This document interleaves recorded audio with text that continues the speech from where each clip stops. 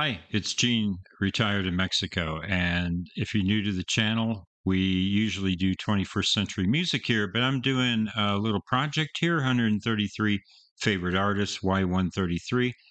Just the way it worked out. Uh, nothing magical about that number.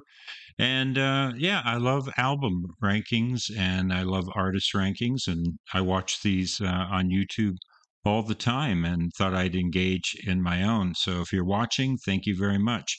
This is artist number 124. I've got the criteria down below and it explains how I came up with this ranking. And so, number 124 is a band uh, I have not seen in concert. I would like to. It's one of the few uh, groups I've not seen that I really would like to see. And it's uh, a band from Brooklyn, New York. Let me uh, bring this up here. Um, the members are, oh, looks like I just lost it. Okay, anyway, it's Kyp and Adembe and David. These are the members of the band, and they use a lot of electronics. I'm talking about TV on the radio. Really like this band. I've got three CDs of theirs, and uh, so I thought I'd show those to you real quick. One is Return to Cookie Mountain. That one I've got in a pro sleeve here. And that's excellent. That's got Wolf Like Me.